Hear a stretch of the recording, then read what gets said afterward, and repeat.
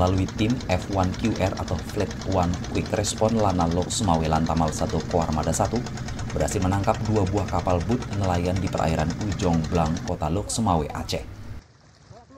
Penangkapan berawal dari patroli rutin yang biasa dilaksanakan di perairan Lok Sumawe, di mana F1QR mendapati kapal boot yang mencurigakan dan memutuskan untuk melakukan pengejaran dan melakukan pemeriksaan terhadap dua kapal tersebut.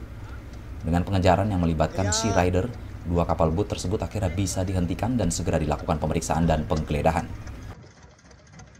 Dari hasil pemeriksaan, petugas berhasil menemukan lima buah karung yang terindikasi narkoba jenis sabu seberat 50 kg dan satu buah pucuk senjata api laras pendek berjenis bareta dengan tujuh butir amunisinya. Selain itu, petugas juga berhasil mengamankan empat orang ABK.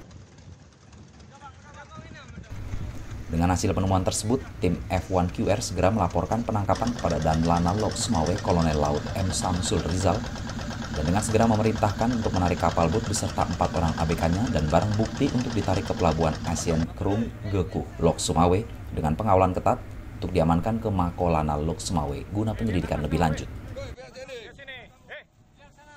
Komandan Lantamal 1 Laksamana Pertama TNI Ali Triswanto mengatakan dalam melaksanakan tugas pengamanan dan penegakan hukum di laut, TNI Angkatan Laut khususnya Lantamal 1 yang berada di jajaran Koarmada 1 akan tetap berkomitmen untuk memberantas tindak pidana di laut terutama penyelundupan narkoba.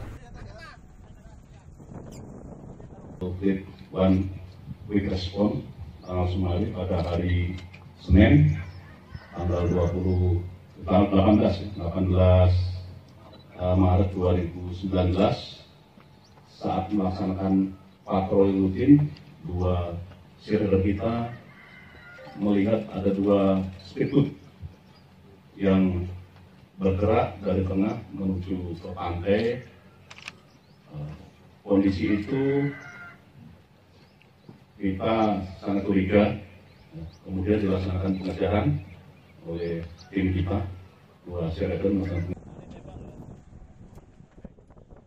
dari Sumatera Utara, Tim Liputan Tribrata TV, Salam Tribrata.